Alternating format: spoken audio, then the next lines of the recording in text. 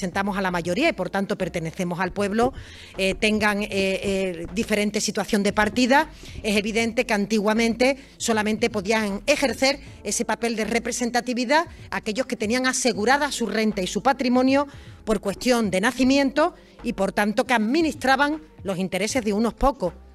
¿Pero ¿De cuándo está hablando esta señora? ¿Está dándonos clases de historia o...? Porque solo unos pocos se pueden permitir el lujo de vivir sin tener un ingreso o sin tener un salario.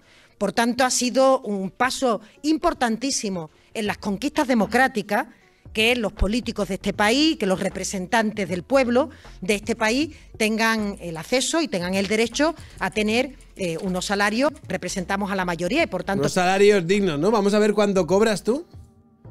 75.000 pavos al año, tío. Ni tan mal. Ni tan mal. Bueno, unos salarios, ya tú sabes, unos salarios, unos salarios, unos salarios. 75.000 euros. ¿Cuánta pasta es esto al mes, tío? Por curiosidad.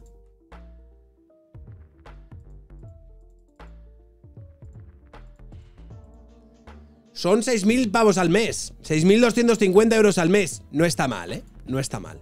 No está mal. Cobra más Pam. Sí, Pam cobra 125.000 euros. No sé, alguien hace relativamente no demasiado hizo un hilo en Twitter donde estaba como sorprendida por los saltos, tío, que había entre los sueldos de unos administradores y otros. Es decir, Ángela Rodríguez Pan cobra 125.000 pavos. Irene Montero son 90.000, esta 75.000. Luego otro cobra...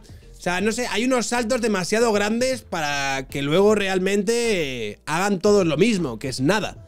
O sea, nada bueno, desde luego. Eso es yo creo la conclusión que podemos sacar.